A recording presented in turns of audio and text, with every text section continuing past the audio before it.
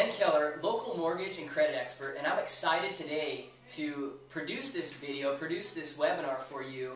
Um, with the shift and the change in today's market, I'm getting a lot of questions on, um, and I'm in the mortgage industry, on short sales and foreclosures, and um, just a lot of questions surrounding that. So, what a better time, not a better time, but not a better person to, to, be, to have here to interview. I've got Ed Finlan with John L. Scott, and I've actually hunted down Ed. He's a short sale specialist. And real quickly today, we're going to talk about some big questions that are coming up about short sales. So, real quick, Ed, introduce yourself to us, and uh, then we'll jump right into this. Sure. My name is Ed Finlan. I'm with uh, John L. Scott Real Estate. Um, Skagit uh, is our website for short sales. Um, I've been in real estate about 10 years. Um, prior to that, I was in a builder with my father and brother, around the Skagit County area. Um, how I got into this was kind of by accident. I just had somebody who needed to sell their house, I don't know, about three and a half years ago, and they there wasn't enough money to cover the loans, and so I found out the hard way, just you know, talking to the banks and figuring out how to do this. Um, and not to pat myself on the back, but I probably do more short sales in and around Skagit County than anyone else. Perfect. And that's how I that's how I found Ed. Quite honestly, um, in putting together this video and putting together this information, I needed to go to an expert. Um, I could research it on the internet, but better than that, I've had an opportunity to meet Ed for the past two months, and he definitely knows uh, knows what he's talking about. You can look him up, John L. Scott, Ed Finlan. But for now, let's jump right into it. These are some big questions, and we've gone over these, um, Ed and I have, but this is what I'm hearing from people. This is what other agents are hearing from sellers and uh, getting emails and, and requests for more information on. So I do have some notes here, so please excuse the note sheet. But the first, the big one is, um, Ed, will doing a short sale cost me any money? If I, and I'm going to assume that I'm the seller, so I'll play, I'll role play here. If I'm the seller, uh, will doing a short sale cost me anything? More than, li more than likely not. Um, typically, um, all the selling costs, so commissions, escrow, title, any of that kind of thing, is going to be paid by the lender or lenders. Okay. Um, once in a great while, there will be an instance where a seller will be asked to bring money, you know, to closing. Again, it's kind of a lottery ticket thing. It, it, I want to make sure that people know that it could happen. Yeah. Very unlikely. Okay, so you mentioned lenders. So let's say, let's say uh, I've got a first lender. For I'm just going to throw out an example: Bank of America. And let's say we took out a second mortgage to qualify for the house, and 80-20. And my second lender is uh, Chase, for example. Is that going to be a problem if you have two lenders? Well, you picked the two that are most the most difficult to work with, to be honest. But but I have successfully done short sales with both of those lenders. Okay. Um, it's not that it can't be done, particularly with those two. Yeah. Um, it's that it takes time. Okay. Um, these lenders are on their own time scale. They don't care what contracts say. They don't. They just don't care.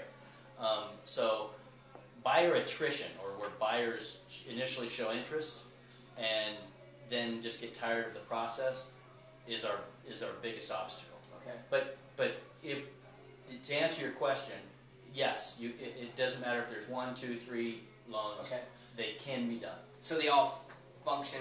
They all function off the first lien holder, the first lender, and then once they approve it, then they go to the second, and maybe It, it's very much a case by case because in, in a fair amount of um, instances, what we, you know, for argument's sake, you owe 300 and on a really good day we could sell the house for 225. Well, the first, in your scenario, Bank of America, may be paid off Okay. with that. Okay, maybe they're not. Okay. It, it's but it's very much a case by case. Okay. Okay. You're gonna have questions on this. Any questions, please just revert to him. We'll show his uh, email address down below and phone number when we when we get over it. So um, on this call as well, we've got a lot of people on this call um, and on this uh, on this video. So you may not get all your questions asked. So please use his email if you uh, if you need to ask him any further questions. Okay, here's the big one. Are there any risks associated with a short sale? So, for example, tax consequences down the road. Three years from now, am I, going to get a knock on my door of my new house and say, hey, listen, you owe us $300,000 for uh, a back lien or the difference. Let's say we sold our, we owed 300000 and we sold it for 200 Two, three years down the road, am I going to get hit up for that difference? The short answer is no. Okay. Um, the bottom line is is that for the title to transfer to this new owner, everything's going to have to be cleaned up. Um, what your lien holder or mortgage you know company could do is go after a summary judgment in court and in essence sue you for that money. The chances of them doing that are pretty low. Okay. Um, not to say it doesn't happen, but it doesn't happen very often. Okay. Okay. The more likely scenario is that they're going to send you a 1099 Okay. and, and for that um, for the difference of what the home was sold for and what you owe. Okay. As if you made that money. Okay. Okay, Back in the old days, you, had to pay tax, Yeah. income tax on that. Um, because of a law that was passed in 2007, more than likely you're not going to have to pay taxes on that. Okay. There's obviously you know different circumstances for everyone, but more than likely you won't have to pay taxes on that. Um, so that's the tax situation. Okay. As far as somebody knocking on your door down the road, it will all be cleaned up, and when you sign paperwork and the title transfers to them, you'll know exactly what, if anything, the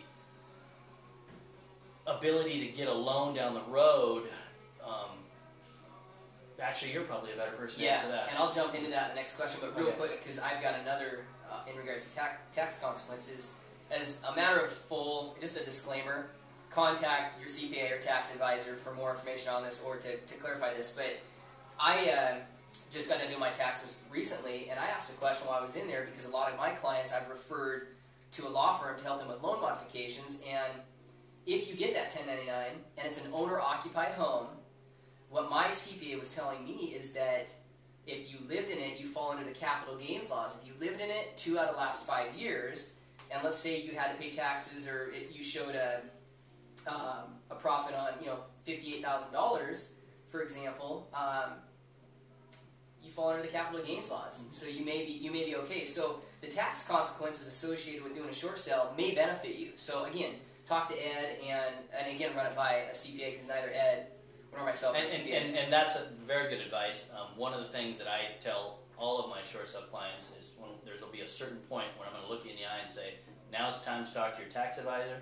and now's the time to talk to an attorney. Perfect. Um, because neither one of us are attorneys and cannot give legal advice, neither one of us are tax professionals and really can't give Yeah. tax advice.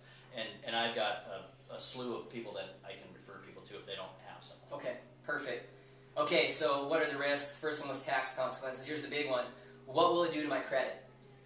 I, I, I'm going to refer back to you. I, I, I know this, but I think you probably have a better handle on it than I do. Okay, so I see credit reports all the time. That's what I do for a living, and I actually have surrounded myself with credit repair attorneys that if somebody comes to me and they have a bankruptcy or they have a foreclosure or they have a mortgage late, what I know right now, I don't know. Everybody's different. Let's say Ed has an 800 credit credit score, and I have a 620 credit score, and I file and do a short sale, and you file and do a short sale. It's going to affect his credit more than it's going to affect mine. So the credit consequences in regards to what is it going to do to my credit? A short sale is going to be better than a foreclosure, meaning a short sale, my attorneys can get a short sale removed from your credit in a 60 to 90 day period, and it's done.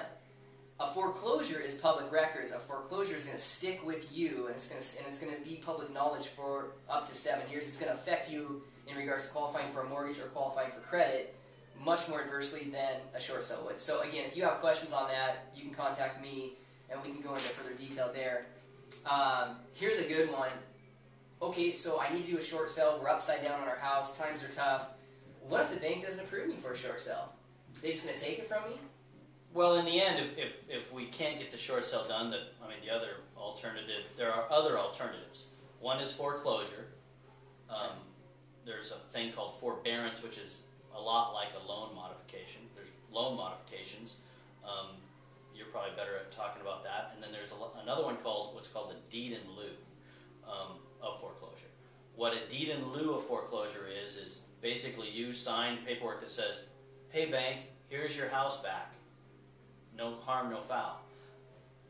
Really, there's not much in it for the person in that situation. There's not much in it for them. All you're doing is saving the lender tons of money for not having to foreclose. Yeah.